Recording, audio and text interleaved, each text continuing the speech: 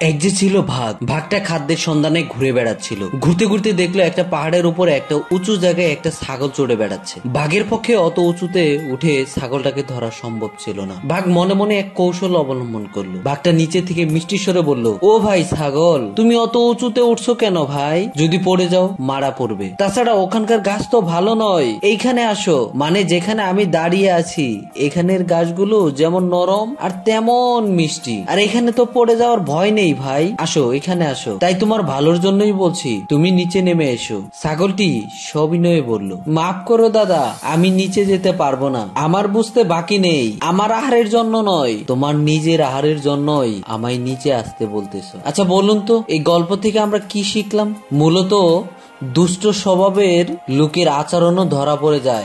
শেয়ানার কাছে। সো যে ব্যক্তি ধোকাবাজি করে, তার সাথে আমাদের কোনো সম্পর্ক নেই। লোকেরা সুযোগের প্রতারণা করে না। তারা পছন্দ করে প্রতারণা করতে। প্রতারণা করা কিছু কিছু মানুষের স্বভাব। এটা তাদের ভুল নয়। আর সব প্রতারকই নিজেকে সঠিক বোঝাতে এক হাজার অজুহাত দেখায় যে সে সঠিক কাজ করেছে। সো টাকা, পয়সা ধন সম্পত্তি বা অন্য কিছু দিক দিয়ে হোক, কে কে এই পর্যন্ত প্রতারকের ফাঁদে পড়েছিলেন, বলুন তো। আর আপনি কি কি প্রতারিত হয়েছেন? কমেন্ট করতে কিন্তু আপনি ভুলবেন না। আর এই গল্পটি আপনার কাছে কেমন লেগেছে? সো একটি লাইক কমেন্ট আর সাবস্ক্রাইব করে সারা বিশ্বকে জানিয়ে দিন। ধন্যবাদ সবাইকে। সালামু আলাইকুম।